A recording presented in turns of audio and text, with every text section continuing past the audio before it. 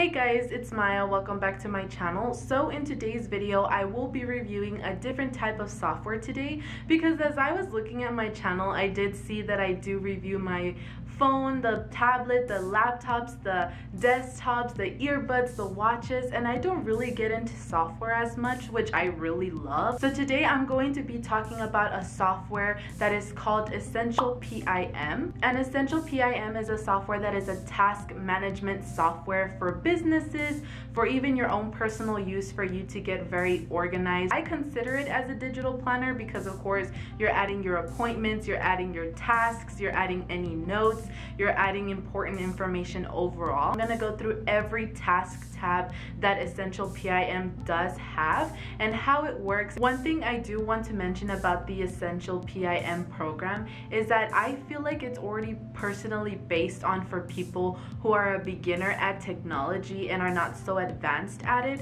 because it's really easy for you to use. Now I have been using this program for at least five days now so I've been including my work schedule, my school schedule, my homework schedule and see how it's been managing to work and everything. If you're a little bit more advanced in technology, it's gonna be really easy for you to use. And of course, I do wanna go ahead and add that Essential PIM is actually sponsoring this video. So thank you so much to Essential PIM for sponsoring this video. I really do appreciate it. So we're gonna go ahead and see what they have to offer in their software programs and I'm going to be 100% honest about it. Essential PIM is actually giving me the liberty to go ahead and give an honest full review of their software program that I'm gonna be reviewing for you guys today.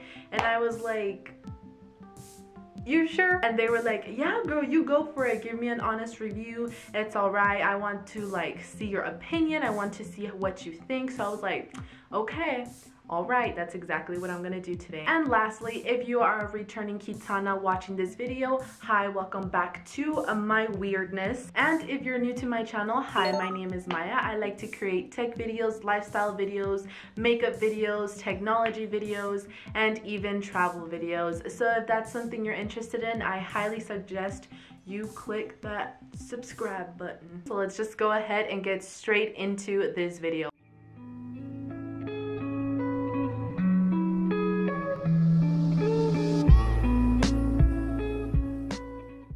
Guys, so this is how the Essential PIM program looks like. As you can see, it is very self-explanatory. And again, like I mentioned before in the video, I will be going through over the simple basic functions that you can use in this program. So of course, it can make it easier for the people who are new to technology. But of course, if you're advanced in technology, then this is going to be very easy for you to understand. So I will be explaining the features that are on the side of the program. And of course, we're going to be starting off with the top. As you can see, there are a lot of helpful links on the top of the screen and of the program. And from here is where you can find some more additional features that are a little bit more at advanced technology technology and you are also provided with many more shortcuts on this program on the top of the screen panels and you are also provided with helpful link features just in case if you need to contact Essential PIM or if you have any other questions about their plans or services. Now starting off with the feature programs on the side, we are starting off with the Today tab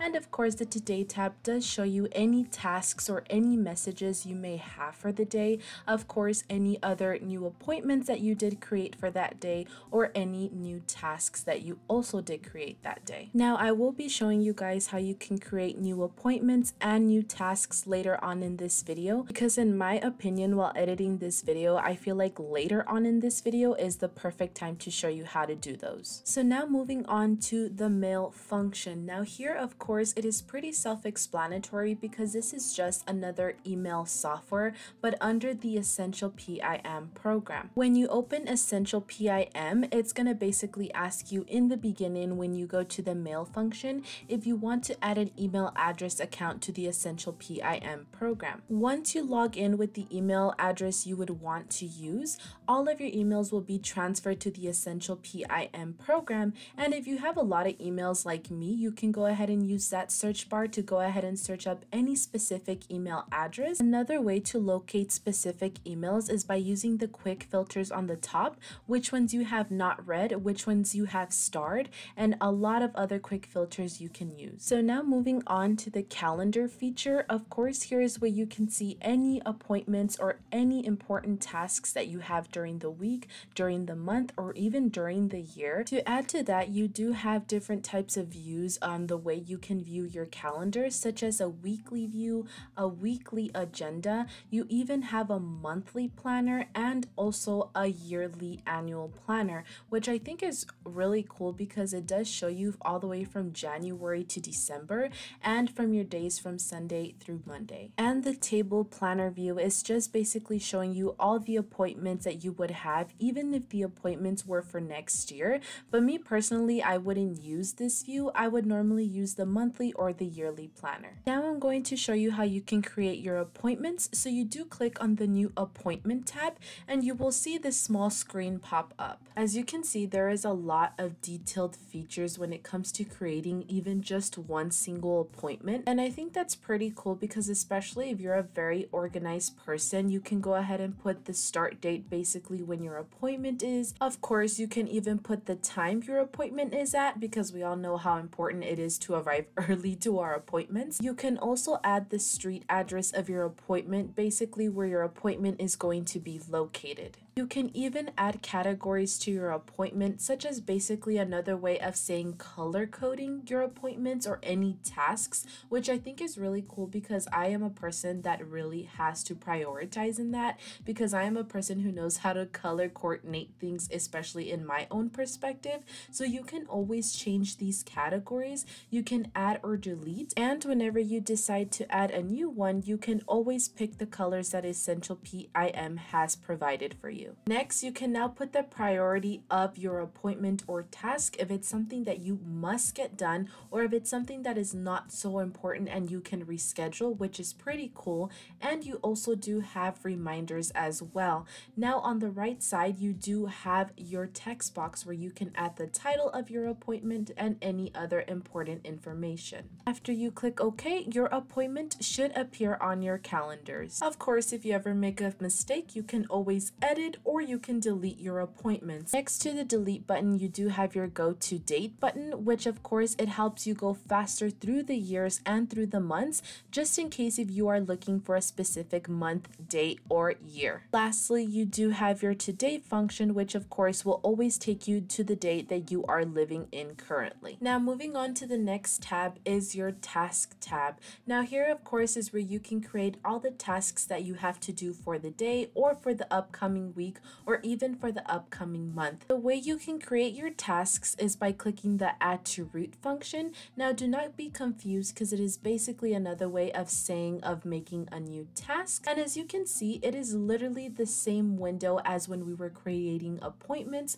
Of course, you do now have the option to have a start and a due date, but overall, everything is still the same. You can still add the date and the times. Now with this function, you can also decide if you want this task to be shown on your calendar. Just in case if you'd like to separate your appointments from your tasks, it is completely up to you. Now, when it comes to even just adding any location, the category, or even just the priority of your task, it is really up to you on what you want to choose. The cool thing is that you can even now use the completion task a little bit more, showing if you completely 100% finish that task, if you're halfway there, or if you're even one fourth. And again, you can even set a reminder and even other amazing features. And on the right side of the box is where you would put the title of your tasks and also any other additional information. You do have different fonts, different bold fonts, just like a Word document, so use it to your advantage. Once you click OK, you will see your task displayed on the task menu. And this is actually filtered by subject, by start date, due date, the duration, how important it is and also your notes that you did include. So I am going to show you another example of me making a quick task.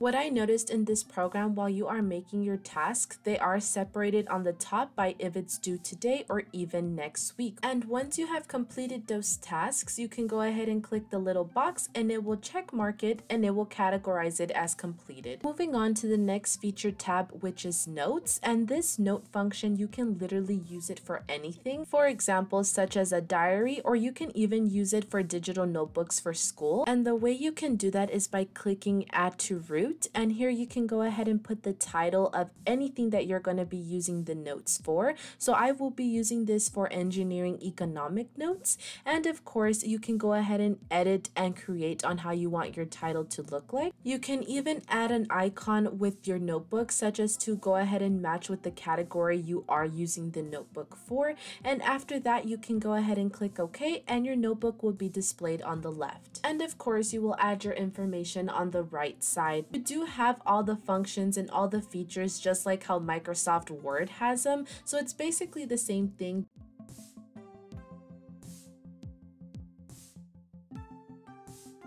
Now moving on to the next feature tab, which is contacts. Now here, of course, is where you could add any contact information of a loved one, a family member, a coworker, or any friends. And by adding a contact, you can go ahead and click the add to contact button and you will see another small screen pop up with all the information that you can input about that specific person. And it is actually very detailed. As you can see, you can put the first and last name, their email, their social media, even their birthdays or any anniversaries. Like it's really crazy on how much you can put within a contact. And you can even add a profile picture or a contact picture under that specific contact. Next is the password feature. Now here is where you can add a lot of passwords, usernames, just in case if you have a lot of programs or software that require a lot of usernames or passwords. The way you can save all of that information is putting an add entry and from there you can go ahead and put the program that you are saving saving your passwords under, the username of that specific software, and your password of that software as well. You can even add the URL to that specific software or program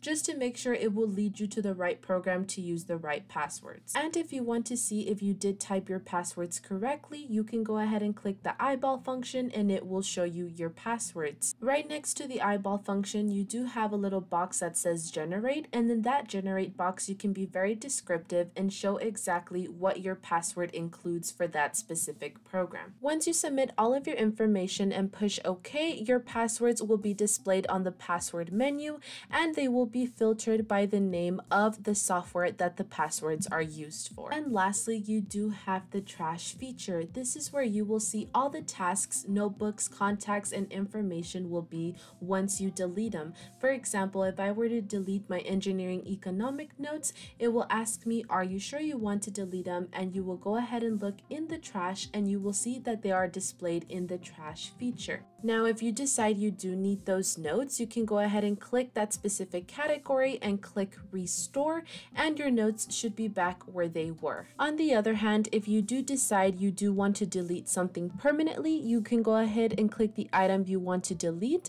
You can click delete or empty trash. Now, this is where I personally believe it is like Microsoft 10 when you delete a document or important information, it goes straight to the recycle bin. So from there, you can decide if you want to empty your recycle bin to permanently delete those documents. Okay guys, I felt like I did explain the basic features that Essential PIM does have to offer. Now, my honest opinion about this program, I personally would not use it for my everyday life organization because one, I already do have my own organization strategy and I personally believe that the features that this program does have to offer, we already have it in our phones, in our tablets, in our laptops, and in our desktops. Of course, I am not bringing Essential PIM down in any way, but that is just my own personal opinion but I believe this program is good for basic essentials, especially when you're starting off with your digital program organization. Okay guys, so that is my full honest review on the Essential PIM task management software.